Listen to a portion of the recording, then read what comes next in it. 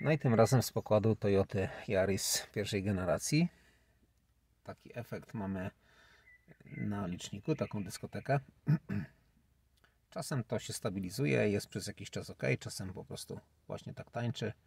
Głównie dzieje się to z, z e, obrotomierzem i jak widać częścią, mm, no w sumie wskaźnik od, od e, paliwa też tam coś nie domaga, natomiast od licznik kilometrów prędkości wszystko tutaj jest jakby w porządku, to nie mryga. To jest jeden problem. E, I drugi problem jest taki, że jest pobór prądu. On musi być dość duży, bo mm, klient sobie radzi e, odpinaniem klemy po prostu, bo po nocy podobno już auto nie odpala. Jest nowy akumulator założony i nadal problem się utrzymuje, więc wiadomo, że musi coś tutaj ten prąd pobierać. Dobra, wjeżdżam sobie na warsztat i zobaczymy ile tego ubywa. Taki mamy chwilowy pobór prądu w stanie spoczynku oczywiście. Chwilę już trwa jak e, wszystko się pousypiało na początku to jest prawie 1 A, tam 0,9 e, a po tam, no nie wiem, kilkunastu sekundach spada do 0,2, ale 0,2 to i tak dużo, więc e, takiej pojemności akumulatorek niewielkiej jak tutaj jest w tym aucie to szybko sobie ten pobór z nim poradzi skutecznie. Dobra, szukamy teraz, który obwód jest za to odpowiedzialny. E, tak, taki jest pobór 0,20. Mam tutaj mm, skrzynkę z bezpiecznikami i bezpiecznik 15 amperowy. On tutaj widać, że był wymieniany. Dlatego na samym początku wydał mi się podejrzany. Wyciągam go. I pobór spadł do zera. Znaczy podejrzany, no może źle to zabrzmiało, bo przecież bezpieczniki się zużywają, palą się, przepalają się e, z biegiem czasu. Mm, każdy może się spalić, ale ten jakoś tak odróżniał się od innych, więc postanowiłem go wyciągnąć. Teraz tak, idę szukać schematu i zobaczyć, które obwody wiszą na tym na tym bezpieczniku. Znalazłem sobie tutaj taki schemat najbardziej zbliżony, czy schemat tej skrzynki z bezpiecznikami. To mamy F5. F5 tutaj mamy opisane jako system audio, centralny zamek, lampka otwierania drzwi, jakiś wyświetlacz wielofunkcyjny. Zobaczymy sobie po wyciągnięciu po prostu tego e, bezpiecznika, co przestanie działać, bo trzeba uważać. Już parę razy się wpędziłem gdzieś tam w kozi róg tym schematom, e, ufając tak na 100%. One różnie tutaj to jest wszystko rozpisane. Jedne te programy lepiej to mają, inne gorzej. Na przykład w Highnessie w ogóle nie mogłem znaleźć tego typu skrzynki. Dobra, idziemy patrzeć co będzie działać, a co działać nie będzie. No to tak, ustalone mamy co nie działa e, po wyjęciu rozrusznika, e, rozrusznika wróć bezpiecznika. Nie działa na pewno radio, e, nie działa podświetlenie i mm, w sumie centralny zamek działa. Działa po prostu jak manualnie się tutaj próbuje, no to powiedzmy, że w tym aucie to działa, bo zamykają się tylko i otwierają tylne drzwi. Przód nie działa, ale myślę, że to nie jest związane z elektryką. po prostu centralny zamek jest uszkodzony w ten sposób. E, i postanowiłem się dobrać do radia, po prostu odłączyć samo radio, zobaczyć sobie, czy ten pobór rzeczywiście spadnie do takiego no, akceptowalnego poziomu, nie? A to co? Wyciągam te przyciski, trzy, te pokrętła. Tu są śrubki. I muszę ściągnąć ten panel i odepniemy radio. Zobaczymy, czy to coś pomoże. I wepnę sobie od razu miernik, tak żeby widać było, czy coś się zmienia. E, utknąłem w pewnym momencie, bo nie wiem, to radio niby odkręciłem, trochę się wysuwa, a dalej nie chce iść. Wygląda na to jakby jakieś plomby były pozakładane takie, e, no z taśmy jakieś. E, a druga historia jest taka, że już zdarzyło się dwa razy, że tam sobie obserwuję multimetr, tu sobie szarpę tym radiem, jakoś tam próbuję manewrować. Już dwa razy zdarzyło się, że pobór prądu spadł do zera. Więc postanowiłem teraz poczekać chwilę, zobaczyć czy to po prostu samo się nie rozłączy.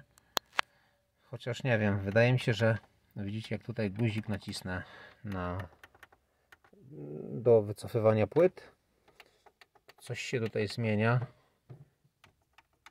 Myślałem po prostu, że... Mm, o! No i mamy 0.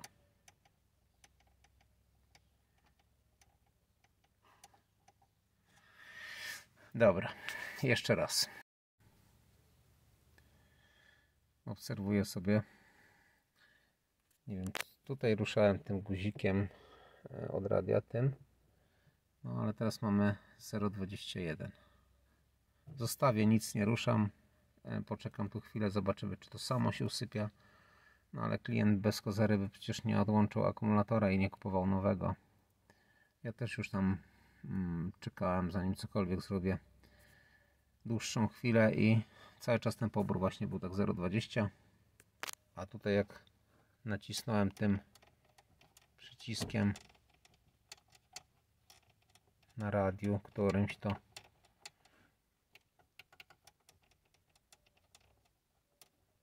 hmm. skok taki jest jak tutaj właśnie tym guzikiem ruszam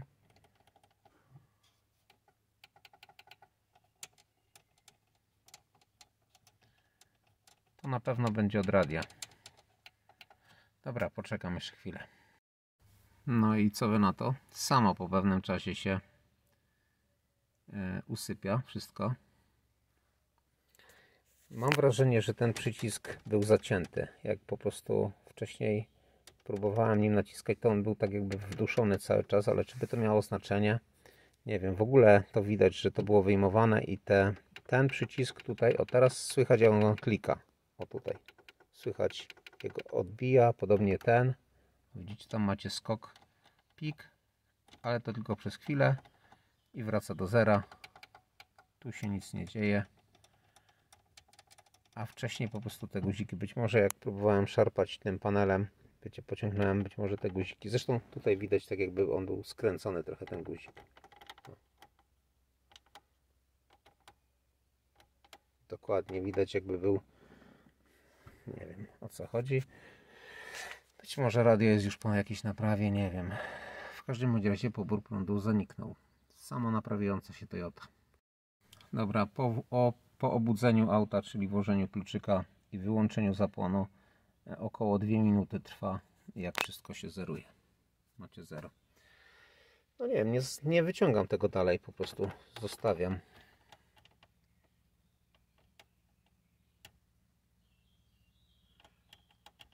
Tutaj zmienia się jak przyciskam przycisk od płyty.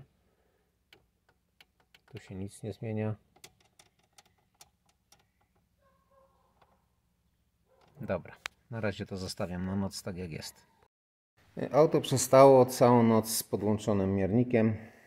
No i taki wynik z samego rana, czyli 0,0.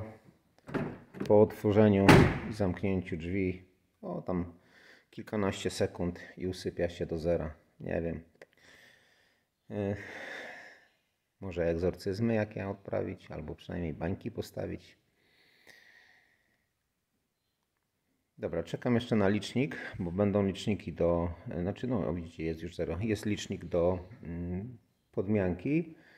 Zobaczymy sobie po prostu czy na tym drugim liczniku problem z tym mruganiem nie występuje. Jeśli nie, no to Tutaj będzie kwestia do przemyślenia, czy ten licznik naprawiać, czy po prostu jakoś tam sobie właściciel skoryguje przebieg, żeby się zgadzał w tym, co jest na tym liczniku, czy po prostu wpisze w dowód.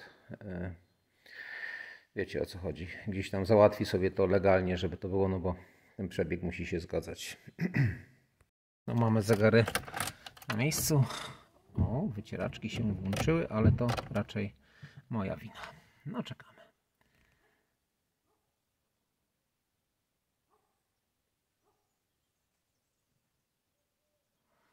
Słuchajcie, nawet powiem Wam, że przebieg się zgadza. Nie wiem, czy jest sens w ogóle grzebać w tych zegarach. E, przebieg jest minimalnie, minimalnie różny od tych, e, tych co tutaj wy, wyjąłem i to na plus, także jest jakby parę tam tysięcy, kilka tysięcy, może jakieś 6 tysięcy jest do, do przodu. No i co? Odpalimy. Zobaczymy, czy działa obrotek.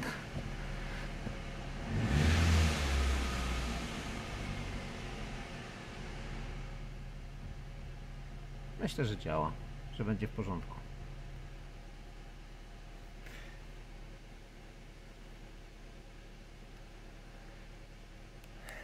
No a te co? Fabiego trzeba zapytać, czy by się nie chciał zabrać za nie. Na pewno by to naprawił.